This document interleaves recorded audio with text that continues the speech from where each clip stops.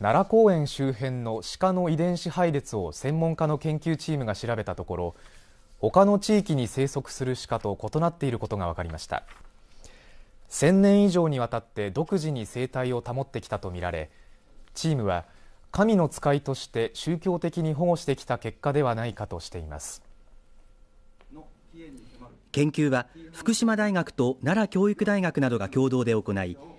20年ほどかけて奈良公園周辺や紀伊半島各地に生息するニホンジカおよそ300頭の遺伝子を採集しその配列を分析しました。その結果奈良公園周辺と他の地域の鹿は遺伝子の配列が異なっていることが分かったということです。研究チームによりますと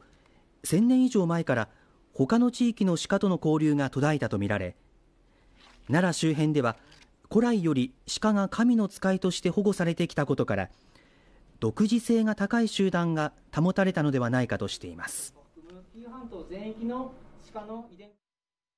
奈良公園の集団というのはまさにですね生きる文化財のようなものだというふうにも言えると思います。鹿の保護や管理を考えるときに最初の出発点となるような論文として見ていただければ。